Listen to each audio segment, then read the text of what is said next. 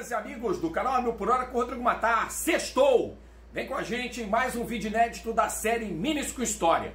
Nós estamos surfando na onda do off-road, porque nessa sexta-feira vocês ainda vão acompanhar o boletim inédito da última etapa do Rally Dakar. Não obstante, a próxima semana começa o Campeonato Mundial de Rally e é sobre o modelo do WRC que nós vamos falar nesta sexta-feira. Mandem suas contribuições para o e-mail amilporh.gmail.com. Está no descritivo do vídeo. Não deixe de dar o seu like. Compartilhe, ative as notificações, acesse, aperte o sininho, acesse o canal, inscreva-se, faça parte do clube de membros, ajude o Amil por Hora a crescer cada vez mais. Nós superamos a marca de um milhão de acessos únicos e já temos mais de 13.400 inscritos. Muito obrigado a cada um de vocês que tem colaborado para tornar esse canal cada vez mais relevante no mundo do esporte a motor.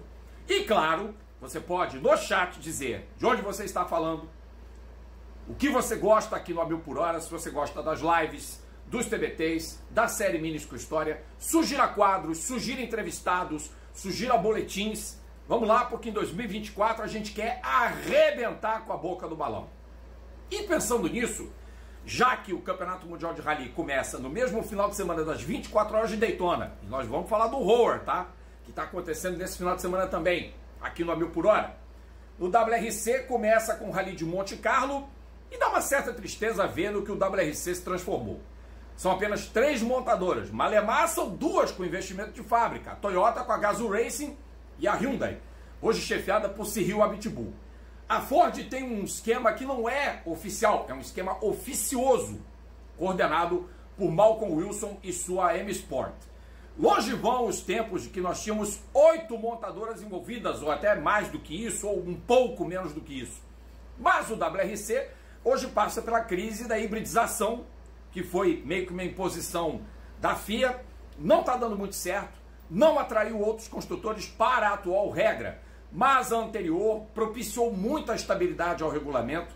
A Volkswagen tinha duas de suas montadoras, a Skoda e a Seat se defrontando, tinha a Peugeot, tinha a Toyota, não em caráter oficial, porque ela em 2000 foi para a Fórmula 1, tinha a Mitsubishi, tinha a Subaru, né? E tinha a Ford.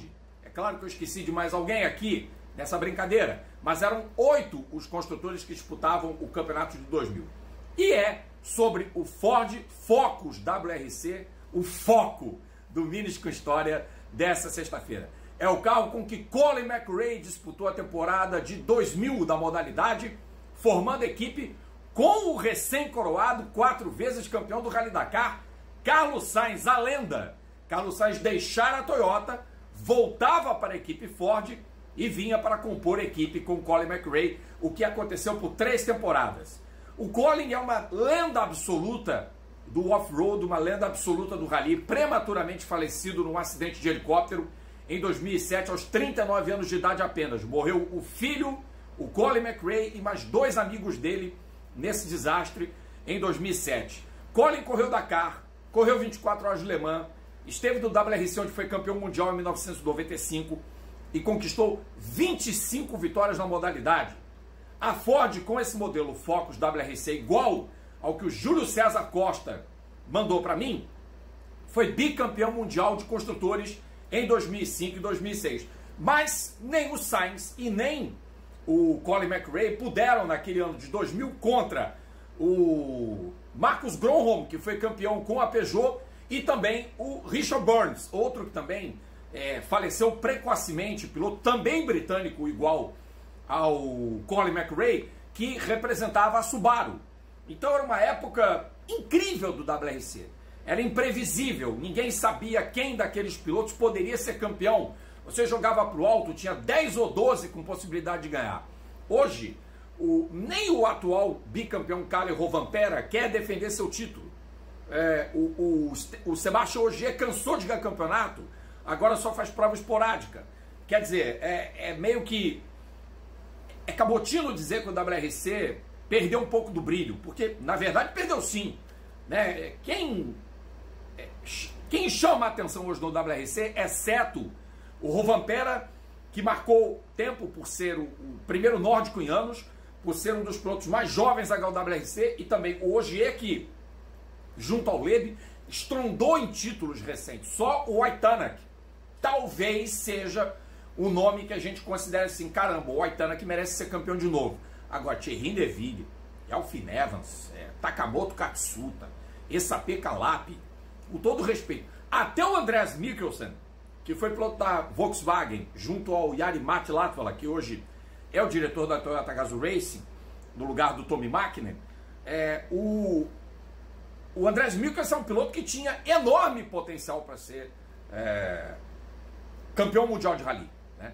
E claro que as montadoras, elas às vezes tomam decisões equivocadas. Por exemplo, a Ford teve esse, esse, esse duo, McRae e Carlos Sainz como pilotos titulares durante três anos. E teve outros pilotos que eventualmente faziam frente a eles com outras marcas e também estavam na Ford, que serviam a Ford Motor Company, que serviu a equipe de Malcolm Wilson. E, e era isso. O WRC era muito competitivo nos anos 2000. E a receita era perfeita.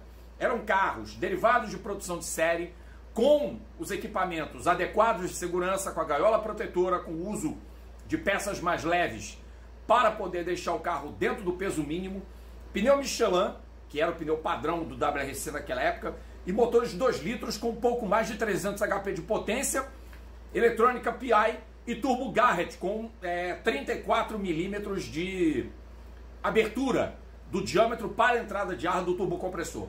Então era uma fórmula que dava resultado, que dava pé, e o WRC nessa época, em 2000, viveu um momento muito legal.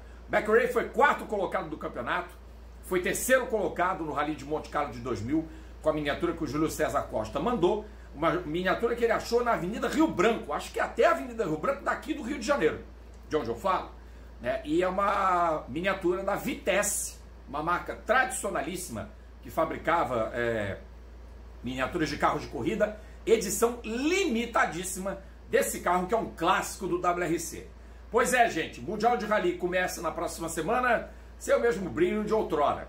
Mas que bom que o Rally Dakar ainda conserva, pelo menos sendo um evento é, grandioso como é, e fazendo parte do Campeonato Mundial de Cross Country, ainda conserva é, a gente ter lendas como o Carlos Sainz, que aos 61 anos de idade continua acelerando, ganhando e fazendo história.